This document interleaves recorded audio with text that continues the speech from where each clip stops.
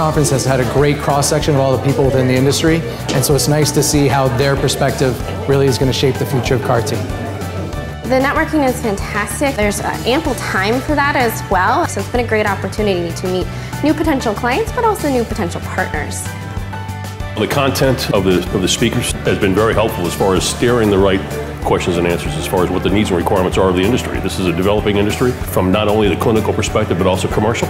It's been very enlightening to hear some of the technologies and also quite a lot of new technology that's out there now that we weren't even aware of. Because it's a closed process as well, multiple products can be processed in parallel in the same environment.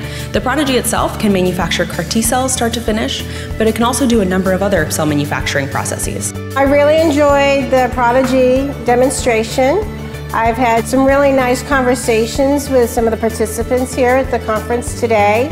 I think now people are going to think very hard about how they address solid tumours and how they improve the CAR T products. Where's the next wave going to come from?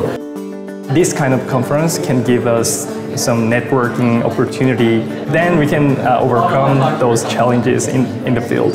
So that's the reason why the networking is very important.